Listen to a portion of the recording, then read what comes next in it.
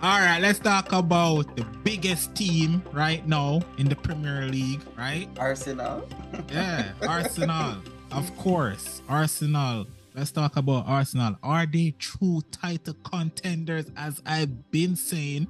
And even though you say I'm jumping the gun too quick and it's too early in the season to know, are they making a statement? Well, as I said, after seven games in, Arsenal top of the table. Are you willing to accept that after seven games, based on where Liverpool is, they are not title contenders? This is not about Liverpool, bro. No, This if is- you're willing to talking about- accept that, then I'll we say are yes, talking Arsenal. about Arsenal, not Liverpool, son. What are you Well, trying to honestly, say?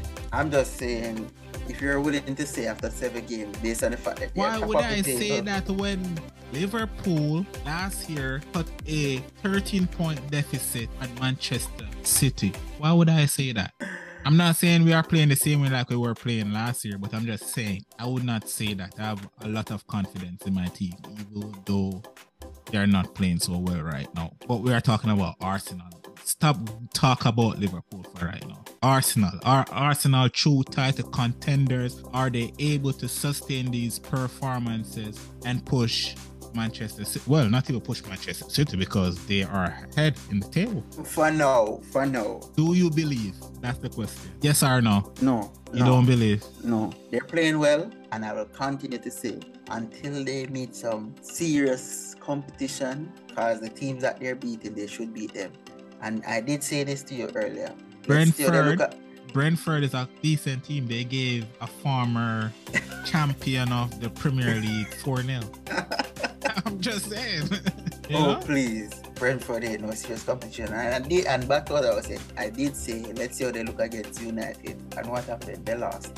Even though Yeah, they lost, but the truth is, the truth is, they lost. That's all Arsenal, it is. Ars- Arsenal was looking better than you guys. Fact still remain. They lost. So let me Yeah, see yeah, them. it's football. against- Anybody can lose. Let me see them against Tottenham. Let me see them against City.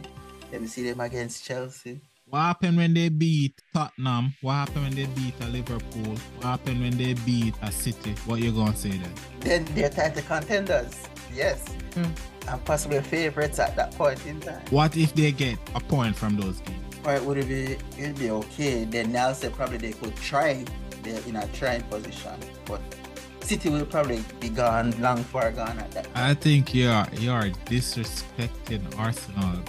Arsenal is different right now. As I said, they're looking good, but I just don't see that dominance from them because they haven't come up against any serious competition. You're right about that. They haven't really faced any top four teams.